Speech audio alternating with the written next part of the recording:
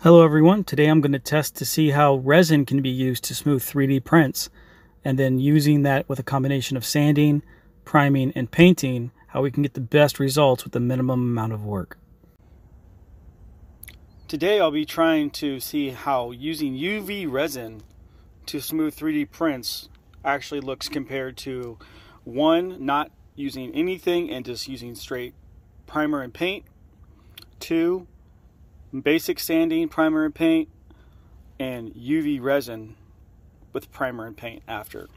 I'll be using 180 grit sandpaper to knock down the back of this Iron Man hand, and I'll leave one section completely untouched. Pri next section will be sanded, primed and painted. The next section, this section will be UV resin, uh, some as you were uh, broken down with 180 grit, and then UV resin and then primed and paint and I'll leave one section that I just put UV resin on only with no sanding at all just to see how it looks and to see if we need to actually go uh, so far with our sanding and priming. So let's see. So I've sanded with 180 grit just the middle section of this Iron Man palm or hand and so on this side I'm going to do resin and this side I'm just going to do prime and paint. So after the resin, I will uh, prime and paint it again just to see the difference and see if it's even worth sanding and if we can just get away with UV, using UV resin, curing it, and then prime and painting without a lot of extra sanding compared to the quality across the spectrum here. I've just applied the UV resin from uh, this bottle with a sponge brush onto this side and I can already start to feel it stiffen up after a few minutes of trying to get it a nice even coat. So I'm going to leave this out in the sun because I don't have a UV cure station here. I'm going to leave this out in the sun for a few hours and then we'll come back and see how it looks. So I've let the uh, resin sit out in the sun for about an hour and a half and it's just a little bit tacky to the touch. But you can still see it looks a lot more glossy obviously than uh, the spot that was just sanded. And I think it will be interesting to sand this down. I'll use the same grit across both sides for the next level of sanding. And then uh, spray some pr primer paint, sand one more time with higher grit, and then one more layer of final paint and just see how it looks. A little interesting note, the little sponge brush I used earlier almost completely dis uh, disintegrated by the time I got it into go wash it out. It uh, just it fell apart in my fingertips. So be careful with what you're using if you're going to be using UV resin uh, it will probably destroy certain types of plastic and I think that's the principle that is used on this type of process. So I'll let this cure for a few more hours. Oop, quite wet there and then uh, I'll get back to you. So the resin is dried after a few more hours. Uh, this is the half that actually has the resin on it. You can see it's very shiny on this side and um, unsanded, unresined at all on this side. This is just sanded with uh, 220 and then 320 because uh, after the resin dried, I sanded just this section, this is middle section here, to see what would happen. So you can see that this is a little bit rougher. You can see more of the plastic and I can feel the lines underneath the fingernails. But under the resin side, it's already starting to feel like maybe a 400, 500 grit sanding, maybe even a thousand. In some spots, I hit this section with 320 just now. Uh, so this is raw with resin. This is just raw without resin, sanded like normal, and then resin with sanding.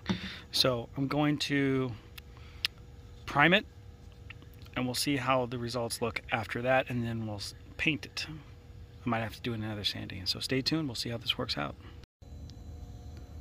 So I just hit it with a uh, 320 I believe grit on to the sanded areas that we're testing and uh, dried it off, got all the particles off as best I could, and hit it with one th very thin coat of primer filler. This is meant to actually fill in the cracks a little bit and then we'll sand it down using uh, 320 and go up to I say 500 just to see how the sanding goes. I'm gonna sand everything like I normally would so everything will be hit with the sander now once the primer's on and you can already see there's a stand out here um, on the sanded side between these two you can see that the part that did not get resin has some cracks in it and the part that did get resin already looks like a sanded piece with the new primer on there so I'm, I'm starting to believe that the resin is going to make sanding a lot easier and uh, be part of my workflow going forward to try to smooth out 3D printed parts. And the two sides that did not get sanded at all before priming, they look as exactly as you expect them to. So we'll let this dry and then we'll hit it with some sanding. I've allowed the uh, primer to dry, give it about an hour and a half. I just got a little impatient and then I went ahead and hit it with some 320 grit from this line here down. The, above that line has absolutely no sanding at any point during this entire thing except, well, so it's kind of like a grid. But the bottom half is sanded with 320 and then 500 and then I wet sanded it with 500 all across the bottom half there. So you can obviously see a standout. This side is resin and sanded, uh, sanded primer this side is not sanded, no resin. And this side here is resin sanded with primer sanded. And this is no resin, sanded, primered, then sanded. So you can already see a standout of what's going on. You can see the, the straight line of where the resin was applied and the sanding. It's already looking a lot smoother and it made it a lot easier to sand. So I'm thinking that the resin is actually going to be a very helpful workflow.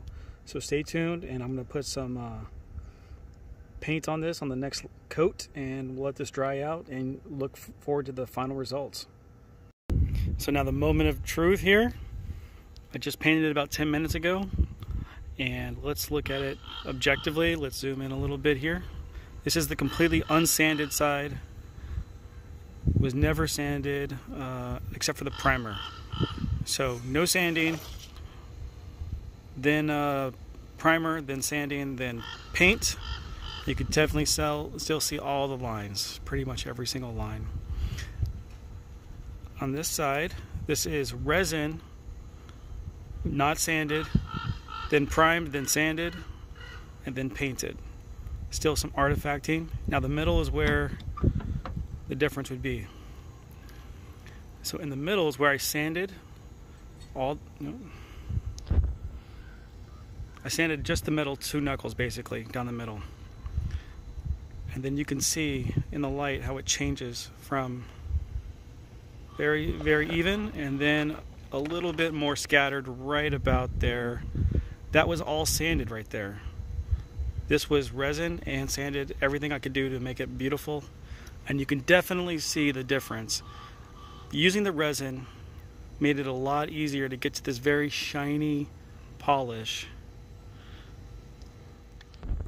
And so I think I will add it to my workflow and um, sand the pieces down, apply a thin coat of resin, allow it to cure in the sun or with a UV light, sand that down, and then apply primer, sand it again, and then paint. This is one coat of paint Imagine if I had actually wet sanded the entire thing, it would look great.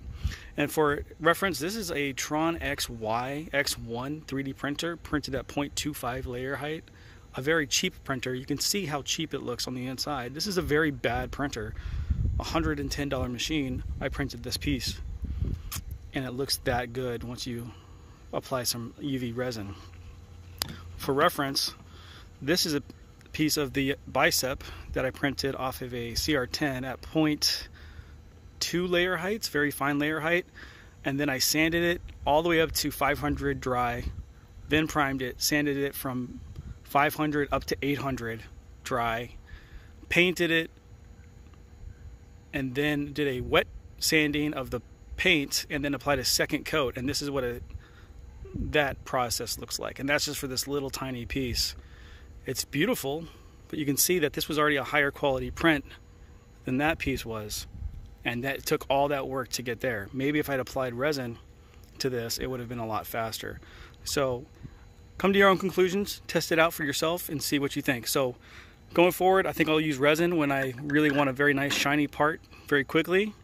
You can see those layer lines kind of disappear.